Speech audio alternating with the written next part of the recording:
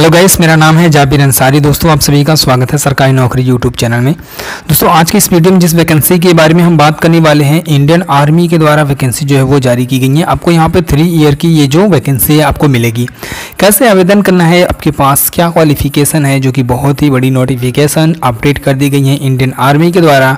तो ऐसा सुनहरा मौका दोस्तों आप लोग को कभी नहीं मिलेगा। इसलिए दोस्तों आप लोग ज़रूर इस वैकेंसी को आवेदन करेंगे। आप लोग कैसे आवेदन करेंगे, कब से अप्लाई करेंगे, इस वीडियो में पूरा डिटेल्स बात करेंगे।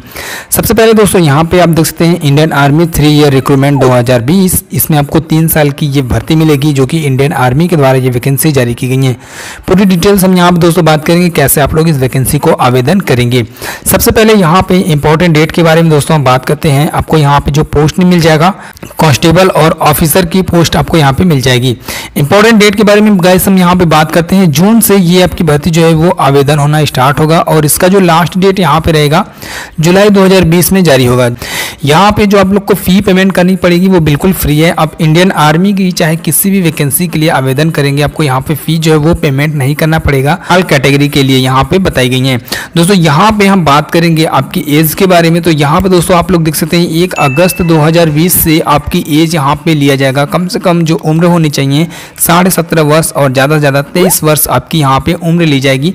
दोस्तों, उम्र में यहाँ पे छूट भी दी गई है। एस सी की कैटेगरी में जो भी कैंडिडेट आएँगे, उनको पाँच साल की यहाँ पे छूट मिल जाएगी। और ओबीसी कैटेगरी में जो भी कैंडिडेट आएँगे, उनको थ्री ईयर्स यानी कि तीन साल की आपको छूट मिल जाएगी। हु कैन अप्लाई दोस्तों? यहाँ पे आप लोग देख सकते हैं ऑल इंडिया के कैंडिडेट इस वैकेंसी को आवेदन कर सकते हैं, जिसमें महिला और पुरुष कैंडिडेट आवेदन करेंगे। बात करेंगे दोस्तों क्वालिफिकेशन डिटेल्स के बारे में, कि यहाँ पे जो आपकी क्वालिफिकेशन मांगी गई है आवेदन को करने के लिए तो जिनके पास दसवीं या बारहवीं का क्वालिफिकेशन या सर्टिफिकेट रखते हैं, वो इस वैकेंसी को आवेदन कर सकते हैं। आपका जो क्वालिफिकेशन होनी चाहिए रिकॉग्नाइज बोर्ड या यूनिवर्सिटी से आपके पास ये क्वालिफिकेशन होनी चाहिए फॉर्म को सबमिट करने के लिए। यहाँ पर दोस्तों हम बात करेंगे फ़िज़िकल डिटेल्स के बारे में, जिनका हाइट यहाँ पे मेल कैंडिडेट के लिए बताई गई है, एक सौ पैंसठ सेंटीमीटर जो भी मेल कैंडिडेट है, वो एक सौ पैंसठ सेंटीमीटर अगर हाइट है तो वो इस वैकेंसी को आवेदन कर सकते हैं। और फीमेल के लिए यहाँ पे जो हाइट मांगी गई है, एक सौ पचपन सेंटीमीटर आपकी हाइट होनी चाहिए। एंड यहाँ पे जो आपका वज़न लिया जाएगा मिनिमम 50 किलोग्राम। अगर आपका कम से कम 48 किलोग्राम भी है तो भी पर आप इस वैकेंसी को आवेदन कर सकते हैं। यहाँ पे जो दोस्तों चेस्ट मांगी गई है ओनली मेल कैंडिडेट के लिए चेस्ट लिया जाएगा। सतहत्तर प्लस पाँच सेंटीमीटर एक्सपेंसेस यानी कि फुलाव के साथ आपका यहाँ पे चेस्ट मांगी गई है। इसमें जो दोस्तों रनिंग होगा, वो 1600 मीटर आपको रनिंग करना है, यानी कि 1.6 किलोमीटर रनिंग करना पड़ेगा, जिसका टाइमिंग जो है वो दोस्तों अभी यहाँ पे मेंशन नहीं की गई है। यानी कि अभी अपडेट नहीं की गई है पूरी डिटेल्स जो जैसे ही पूरी डिटेल्स जारी होगा, मैं आप लोग को बता दूँगा कि कैसे आप लोग को आवेदन करना है। बात करेंगे सिलेक्शन प्रोसीड के बारे में। तो गैस आप लोग देख सकते हैं, सबसे पहले आपका फ़िज़िकल टेस्ट होगा। यहाँ पे आपका रिटर्न एग्ज़ाम नहीं होगा, ना इंटरव्यू होगा, बस आपका फ़िज़िकल टेस्ट होगा। जो भी कैंडिडेट ये फ़िज़िकल टेस्ट डायरेक्ट निकाल देंगे, उनका डॉक्यूमेंट्स वेरिफिकेशन होने के बाद सिलेक्शन होगा। इसमें आपको जो सैलरी मिलेगा दोस्तों, इक्कीस सौ चौरासी हज़ार एक सौ प्रत्येक महीने आपका यहाँ पे पे स्केल बताई गई है। एंड जॉब लोकेशन जो रहेगा दोस्तों ऑल ओवर इन इंडिया है। जिनका भी सिलेक्शन हो जाएगा, ये जॉब आपको इंडिया में कहीं पे भी करनी पड़ेगी। बात करेंगे यहाँ पे डॉक्यूमेंट्स के बारे में। फॉर्म को आवेदन करने के लिए कौन कौन से डॉक्यूमेंट्स की ज़रूरत पड़ेगी? आपका यहाँ पे फ़ोटो चाहिए जो कि लाइट बैकग्राउंड का फ़ोटो होनी चाहिए, उसके बाद सिग्नेचर और आपका क्वालिफिकेशन में आठवीं, दसवीं, बारहवीं का जो भी क्वालिफिकेशन है, आप इसमें दे सकते हैं।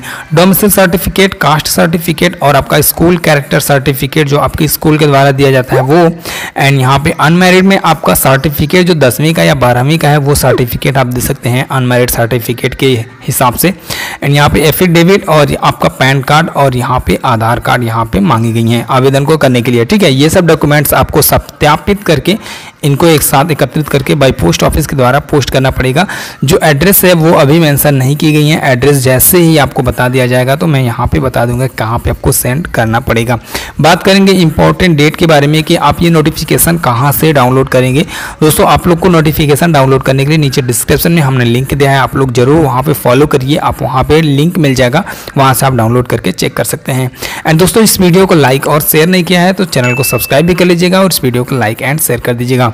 दोस्तों, इनके ऑफिशियल पेज पर अगर आप लोग को जाना है तो आपको डिस्क्रिप्शन में भी लिंक मिल जाएगा, देन यहाँ पे भी आपको लिंक मिल जाएगा। आप यहाँ से क्लिक करके आप चेक कर सकते हैं या आप यहाँ से आवेदन को अप्लाई करेंगे, उसके बाद आपको बाई पोस्ट ऑफ़िस के द्वारा पोस्ट करना पड़ेगा। मिलते हैं अगली वीडियो में, तब तक के लिए आप हमें दीजिए जय हिंद।